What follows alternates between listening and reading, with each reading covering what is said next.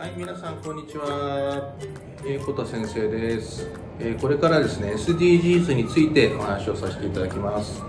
えー自己紹介しますと、先生はですね、えーと横田アソシエイツっていう会社の、えー代表と、えー慶応の SFC の特任教授をしています。SDGs について本を書いたりしています。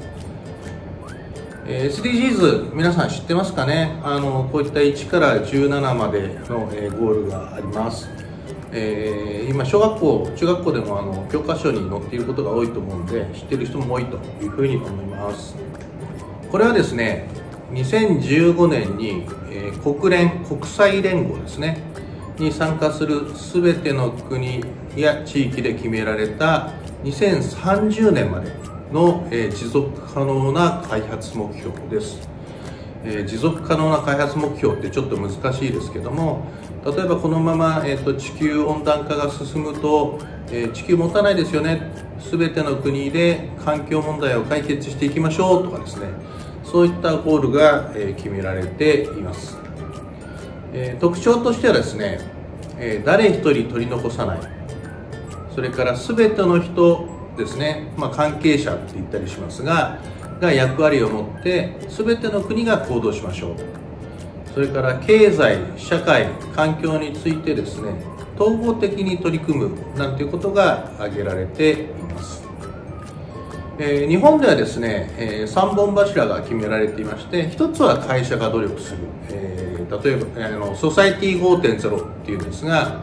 え会社が IT、ICT で社会課題を解決していきましょう、2つ目が地方創生、まあえ地方のですね市とか県とか町がですね取り組むということですね。それから3つ目が皆さんが実際にやられている教育現場において、え持続可能な担い手の育成ってちょっと言うんですけども SDGs ちゃんとお勉強しましょうと、えー去年から小学校、えー今年から中学校来年から高校でですねそれが、え取り入れられています。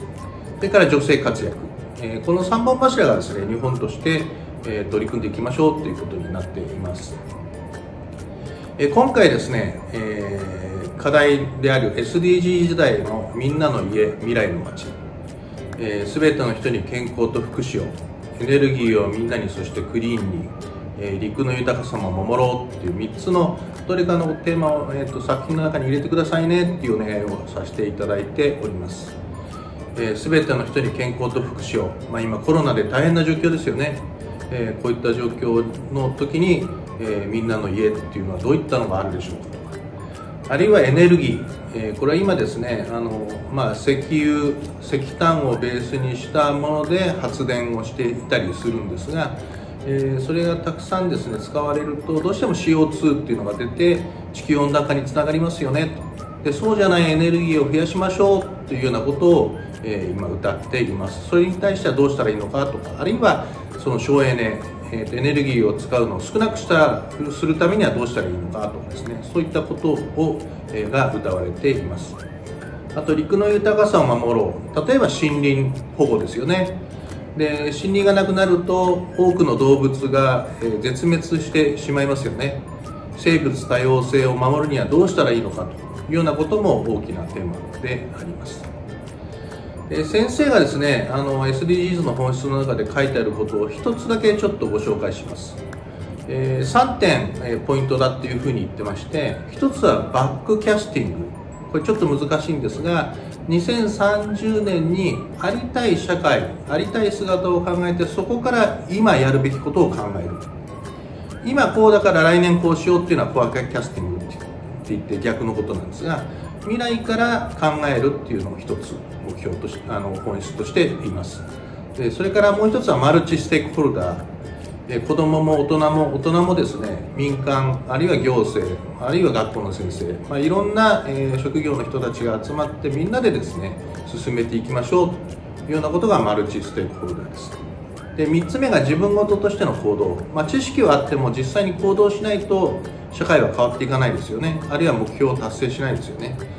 えー自分事としての行動がすごく大切です、えー